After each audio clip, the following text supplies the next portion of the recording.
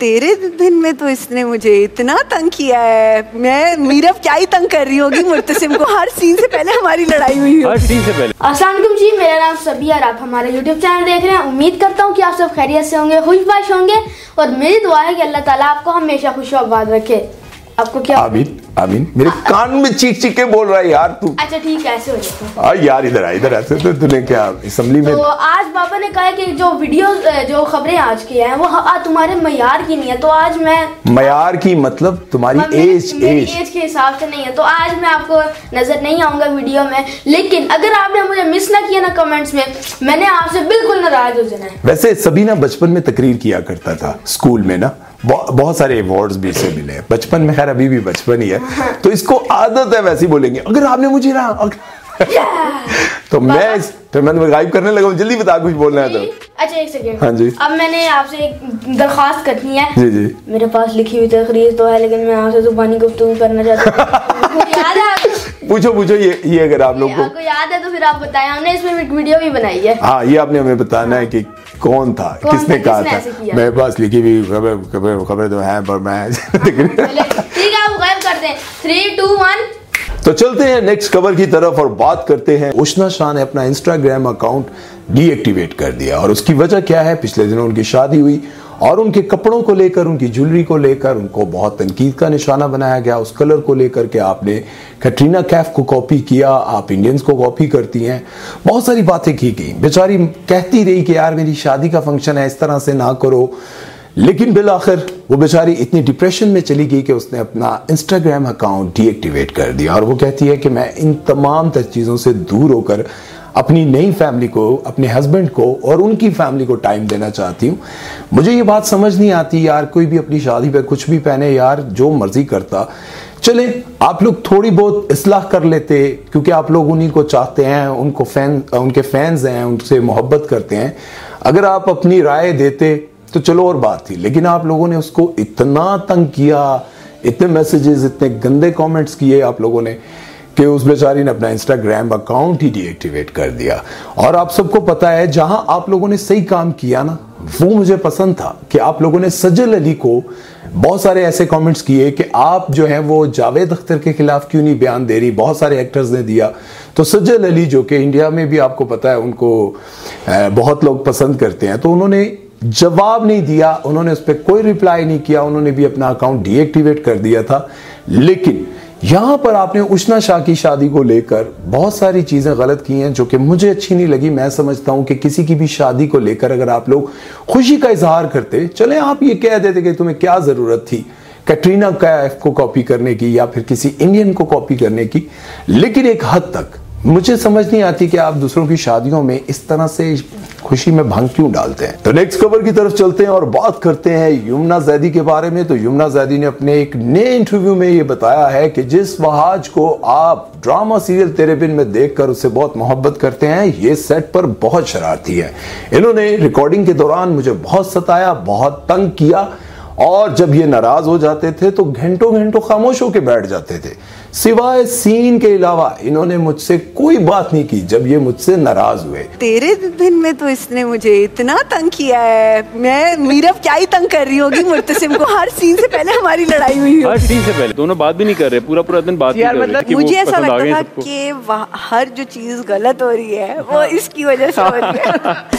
हर बात का इल्ज़ाम ही कहता था, युमना इसका भी इल्ज़ाम तो मुझे दे रही हो। जिस वहाज को आप इतना मासूम समझते हैं, वो इतने मासूम नहीं है। तो नेक्स्ट ओवर की तरफ़ चलते हैं, लेकिन आप लोगों को क्या लगता है, वहाज वाकई मासूम है या फिर उनके इंटरव्यू को देखकर आप लोगों को उनके डबल मीनिंग जुमले समझ आए हैं, नहीं आए हैं? ये आपने मुझे कमेंट सेक्शन में बताना है, क्या वाकई मासूम है? खैर नेक्स्ट खबर की तरफ़ चलते हैं और बात करते हैं रैम्बो जान रैम्बो के बारे में। जॉन रेम्बो ने कहा है कि जिस तरह से आप मुझे देखते हैं यूट्यूब पर निकर कच्छा ये पहने हुए तो बहुत सारे लोग अक्सर बाहर से आते हैं और कहते हैं कि अंदरू साहब नु बुला दे।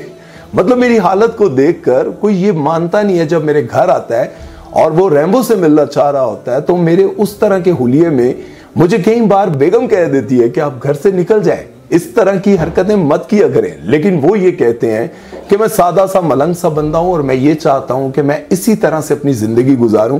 और साहिबा ने अपने इंटरव्यू में ये भी बताया कि इनको चारपाइयाँ मुड़े वो पेंडू स्टाइल पसंद है, जो कि मुझे नहीं पसंद। और जॉन रेमो ने यह भी बताया कि मैं यूट्यूब पर कभी नहीं आना चाहता था, लेकिन पाकिस्तान के सबसे तेज बॉलर शोएब अख्तर ने मुझे मशवरा दिया कि यार YouTube पर आ जाओ, YouTube पर काम करो, अच्छी कमाई होती है। और मेरा YouTube का चैनल भी शुएब अख्तर ने ही बनवाया था। नेक्स्ट खबर की तरफ़ चलते हैं और बात करते हैं सबसे अहम खबर जो कि पाकिस्तान में बहुत ज़्यादा ट्रेंडिंग पर है हरीम शाह के बारे में। आज की ये खबर नहीं है, बल्कि आप लोगों को मेरी तरफ़ से एक बहुत बड़ा मैसेज भी होगा। आप लोग ये समझ रहे होंगे कि मैं आपको वो, उनकी वो गंदी तस्वीरें और वीडियोस दिखाने लगाऊँ नहीं, ऐसा कुछ भी नहीं है। मैं आपको दिखाने जा रहा हूँ वो चेहरा जो शायद हमारे अंदर भी कहीं ना कहीं छुपा होता है। हम लोग अपनी ज़िंदगी में बहुत सारे लोगों से नफरत करते हैं और उनके वीक पॉइंट्स को अपने पास छुपा कर रखते हैं। और फिर ज़िंदगी में एक वक्त ऐसा आता है, उनके मुश्किल वक्त में हम वो पॉइंट्स निकाल कर सामने रखते हैं और उनको नीचा दिखाते हैं, उनके लिए ब्लैकमेलिंग का सबब बनते हैं और उनको किसी न किसी तरह से किसी न किसी जगह पर फंसाने की कोशिश करते हैं। इसी तरह से आप लोगों को याद होगा हरीम शाह ने बहुत सारे लोगों की वीडियोस बनाई और ये कहती रही कि मेरे पास बड़े बड़े मिनिस्टर्स की वीडियोस हैं। और वो आ, मुफ्ती कवि साहब के बारे में भी ये बात कहती रही बल्कि उनकी एक वीडियो भी उन्होंने लीक की थी। और आज एक ऐसा वक्त आ गया कि हरीम शाह की अपनी नंगी तस्वीरें और वीडियोस लीक होने लग गई है। आज की इस वीडियो में मैंने सभी को इसीलिए अपने साथ नहीं लाया क्योंकि मैं ये बात आप लोगों से खुलकर करना चाहता था कि देखें, कल तक हरीम शाह दूसरों की वीडियोस, तस्वीरें लोगों के सामने शेयर करती थी, ब्लैकमेल करती थी और आज उनकी तस्वीरें, उनकी शादी के बाद उनकी शादी के बाद उनकी तस्वीरें, उनकी वीडियोस और उनकी ऐसी ऐसी चीज़ें लीक होने लग गई जिसका वो कभी सोच भी नहीं सकती थी। इसीलिए कहते हैं, मकाफात अमल को अपने जहन में रखा करें। जो आप किसी के साथ करते हैं, वो एक दिन आपके साथ भी हो जाता है। और देख लें, कल तक हरीम शाह जिन लोगों की वीडियोज़ और तस्वीरें अपने पास ब्लैक मेलिंग के लिए रखती थी, आज उनकी जो वीडियोज़ दूसरों के पास पड़ी थी, उन्होंने लीक कर दी। अब जिसने भी की, ये तो एक अलग टॉपिक है। लेकिन ये जहन में रखें कि जैसा करना वैसा भरना ये सी दुनिया का कानून है। आप लोगों को क्या लगता है कि कल तक जो हरीम शाह दूसरों की वीडियोस और तस्वीरों को अपने पास ब्लैकमेलिंग के लिए रखती थी, आज उनकी जब वीडियोस और तस्वीरें लीक हुई हैं, क्या ये ठीक हुआ है या जिसने जो किया वो गलत किया है? नेक्स्ट खबर की तरफ़ चलते हैं और बात करते हैं एक टिकटॉकर हैं जिनका नाम है साइलेंट गर्ल। आजकल वो बहुत दुखी और बहुत दुखी दुखी पोस्ट लगाती रहती हैं, लेकिन उनका मौकफ सुनने के बाद आप लोगों ने कमेंट सेक्शन में लाजमी बताना है, क्या उनके साथ ठीक हो रहा है, गलत हो रहा है, उनका मौकफ ठीक है या गलत है, आपकी राय बहुत अहमियत रखती है। तो बात करेंगे जी साइलेंट गर्ल के बारे में। तो साइलेंट गर्ल ये कहती हैं कि उनके हस्बैंड ने दूसरी शादी कर लिया और मैं अपने बच्चों के लिए आवाज़ उठाती रहूँगी और अपना हक लेकर रहूँगी। और उन्होंने ये भी कहा कि मेरा जो शोहर है वो इतना घटिया और कमीना निकला कि वो उस लड़की की वजह से मुझे मारता है, मेरे पर जुल्म करता है और अब मैं ये सब कुछ बर्दाश्त नहीं करूँगी। उसने दूसरी शादी कर लिया और मैं ये चाहती हूँ कि वो उसको छोड़ दे और मेरे साथ ज़िंदगी गुजारे। अब मैं आप लोगों से एक सवाल पूछना चाहता हूँ, क्या एक मर्द को जिसको चार शादियों की इजाज़त है, वो दूसरी शादी कर सकता है या नहीं करनी चाहिए थी? आप लोगों ने मुझे बताना और दूसरा मुझे आप लोग ये बताएँ, क्या जब मियाँ बीवी के दरमियान लड़ाई होती है और बीवी अपनी आवाज़ अपने शोहर से बहुत ऊँची कर लेती है और उसके साथ पूरा मुकाबला करती है और फिर मुझे ये भी खबर मिलती है कि जब दोनों के बीच हाथापाई होती है तो क्या एक दूसरे का एहतराम बाकी रहता है? क्या औरत को अपने मर्द के साथ पूरा मुकाबला करना चाहिए? जब उसकी आवाज़ ऊँची हो तो औरत की उससे भी ऊँची चली जाए। जब मर्द गुस्से में आए तो औरत का हाथ उसके गिरबान तक पहुँच जाए। और इन सारी बातों के बाद मर्द को क्या करना चाहिए, ये आप लोग मुझे ज़रूर बताइएगा, क्योंकि बहुत सारी लड़कियाँ भी मेरी वीडियोस देखती हैं तो मैं चाहता हूँ कि वो अपनी राय ज़रूर दें। और साथ में ये भी बताता चलूँ कि मैं ये सब चीज़ें बहुत सारी जगहों पर देखता हूँ। और जब मैं देखता हूँ तो फिर मुझे समझ नहीं आती कि मैं ये क्या बयान करूँ। जब मर्द गुस्से में होता है और औरत उससे डबल गुस्से में आती है, मर्द अगर गाली देता है तो औरत आगे से दस गालियाँ देती है, मर्द अगर यूँ करता है तो औरत आगे से अपने पंजे लेकर आ जाती है। तो फिर उस मर्द को क्या करना चाहिए?